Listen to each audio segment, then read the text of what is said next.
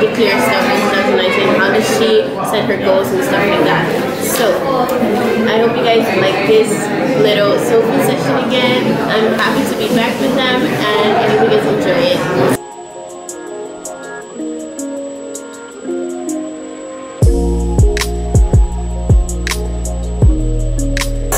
So, um, currently, you know, 2019 just started, and we are actually declaring stuff that we want to see manifest in 2019.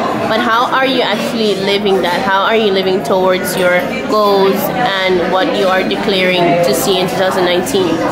Well, you said 2019 just started. I don't know, but we're in April. Well, yeah, we're at the saying. start. We're at the start. okay. Um. How? Do, what's the question again? What's the question again? So, how do you actually, um, how are you living currently towards your goals, basically? How are you working towards the things that you want to declare? So, I think I just take it step by step, day by day. Um, you know, sometimes you at the, at the beginning of, of the year you set different goals, different things that you want to achieve, of course, and it's good. It's good to have a purpose, so you know where you are and how you do it and all that stuff.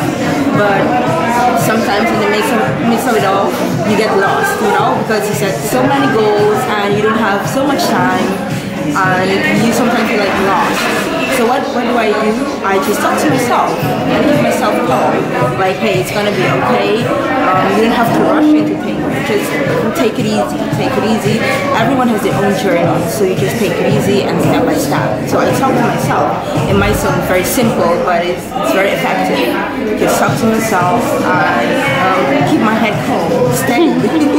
very important. Keep my head steady and focus.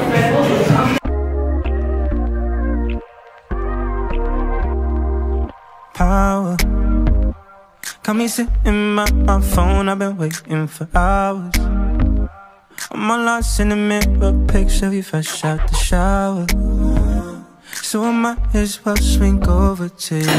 okay, so we were just talking about how we actually declare things and that we set our goals in life, and she just told us that she takes it step by step. But sometimes when you're taking your steps, something out of the blue just decides to drop in the middle of your planning and then you gotta reset like you feel like you're back to square one so my question is like how do you how do you actually reset from where you just landed You said reset. Um, one of the things that comes to my mind when I hear the word reset is change of mind, change of direction. I'm getting out of the comfort zone. Um, how do I deal with that? Well, there is a theoretical part and a practical part, you know? Like how you're supposed to deal with those kind of things. Um, theoretically, one of the things that you should do is, um, you know, set back, analyze the situation, put everything in a row, write it down, analyze it, and then make a choice. That's the theoretical part. But practically, how, how it happens is like you panic. That's the first thing. Reset, you panic because it's out of your comfort zone. So it, it disturbs, interrupts your peace. So you panic. So um, what I do, I panic.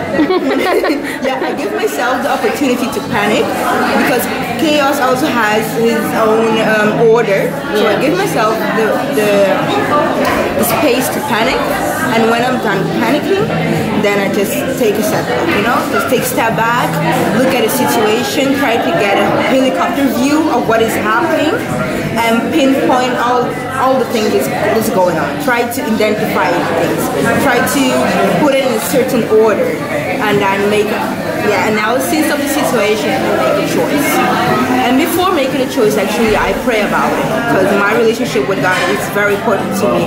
Because I, I walk with a purpose, so it's very important. Before making a choice, I pray about it and I involve God in everything that I do. So that's how I deal with it. Reset.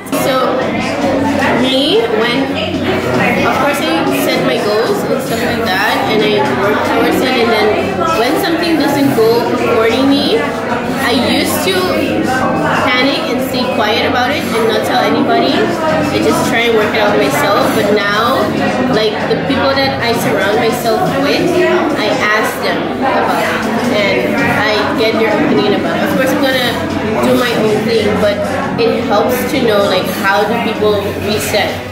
And my friends actually like everybody goes through things. You know when you have close friends, but when you actually sit down and talk with them, then is when you really know like what people go through. Like I wouldn't think like that they go through it, the things that I go through, but they go through it differently. But you learn from it, and then that's how I actually reset and like you know collect all the information that I got from them and learn from it, and then pray about it as well, and then go on my day. I don't stay quiet about it. I think that's a very important thing to do, like speak out. Because when you keep it in, you keep digging a hole for yourself and like you're gonna get into depression. Not that I went to depression, but you go like this numb and then you don't know what to do and then you just want to give up. And then it takes a longer time to like, you know, reset. But when you open about it and talk about it, that's when you get more, I don't know, motivation I would say because then you know like there are people also going through stuff, you know, and it helps you actually. And yeah, that's how I actually reset. I don't stay quiet anymore, I talk about it.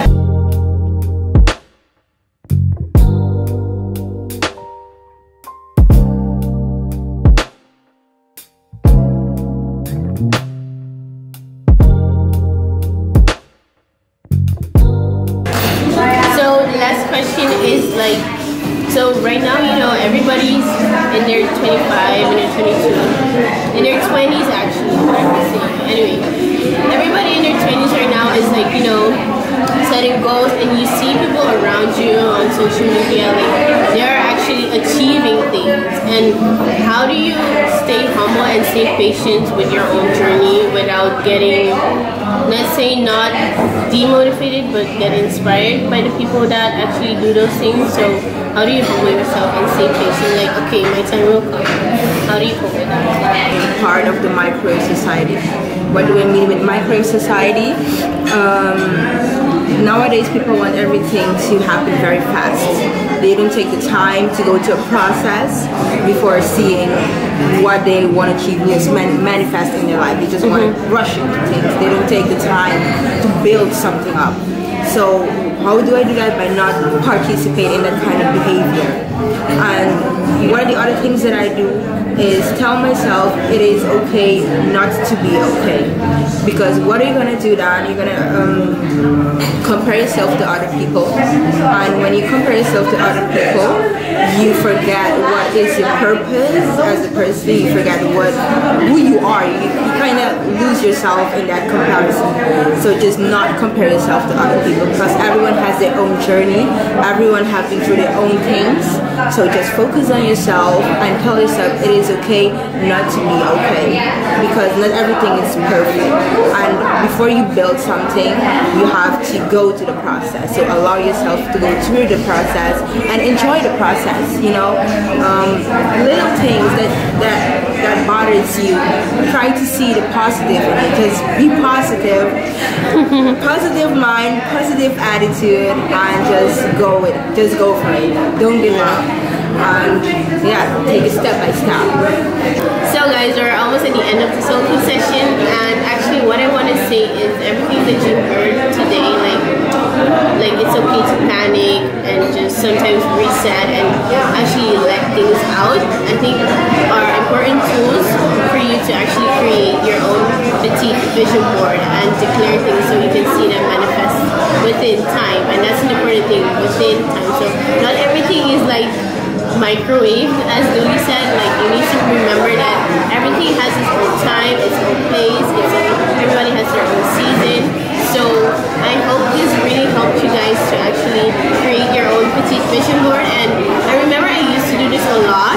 I stopped, but I actually have to do it again. Like I used to write things on a sticky note and put them on a mirror and tell myself those things in the morning and declare it for that day. Like usually sometimes people think that declaring something is like for you know way ahead in the future, but you can also declare stuff for that day, what you want to see.